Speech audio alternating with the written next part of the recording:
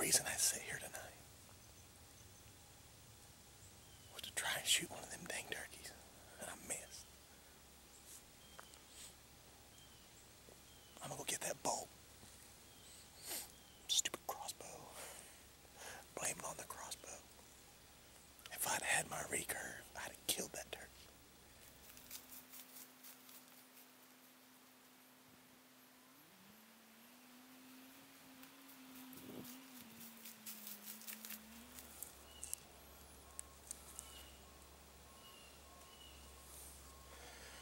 They're still in good shape.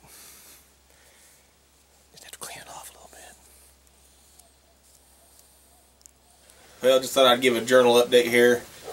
It's the 14th of October. No deer down yet. I ain't stressing it too much. I am craving some fresh inside tenders. But as you can hear, it's raining right now.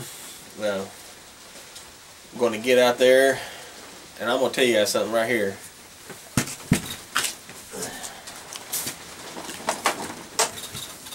Thing right here is called a porter roof. I bought this, I don't know how many years ago. At least 10, 15, maybe 15 years ago. I don't know. A long time ago. It's an umbrella you put up above you while you're hunting. It screws right into the tree. I lost everything that goes to it but this, but you can put it on one of these hooks that you can buy at Walmart. Just straighten that end up a little bit, it'll work. You put that on there, and it'll keep you dry on days like this. And it just sounds like rain hitting leaves above you. So get you one of these. These things are awesome, especially for days like today. But big cold front coming in. It's gonna be cool for the next week. So I'm getting pretty excited. My favorite time of the year is coming up, muzzleloader. I'm just getting out there, switching to the longbow, getting away from the crossbow for a little bit. I just ain't had no luck with it. Uh, as you've seen before, that's not the first turkey I've missed with that thing since the season began. So, switching to the longbow, hopefully get something done. Like the old saying goes, you can't kill 'em at home.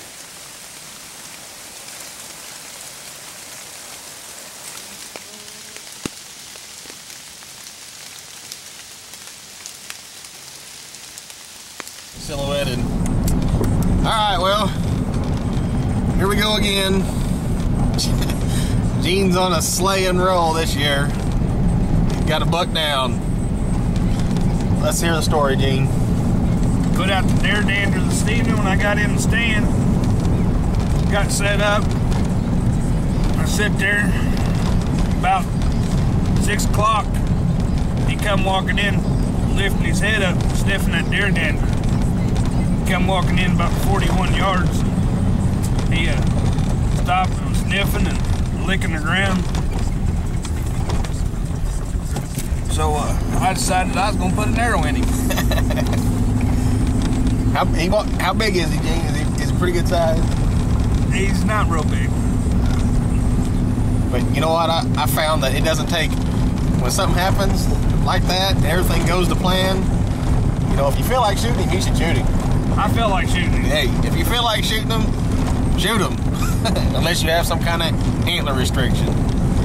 But we're going to go out. Gene said the old exit broadhead hit him good. And he didn't, how far did he go? He ran probably 50 yards, 50 yards. fell over dead.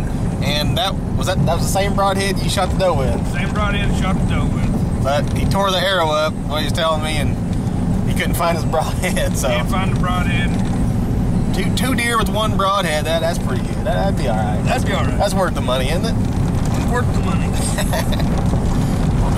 That's all that's left out of the out of it. Complete pass through again. Ooh, yeah. Well, we're headed to the trail. Deer dander, exit broadhead. Woo! Well, here he is. I tell you what, that's a pretty nice buck. He, uh, we had to drag him quite a ways, but I tell you what, what do you think, Gene? Are you a deer dander fan now? I'm a deer dander fan. Pretty good eight point. Not bad. Gonna be some nice eating. 40, 41 yards what he shot him at. Made a pass through shot. Tell you what, good deal right here. Good job, buddy. Thank you.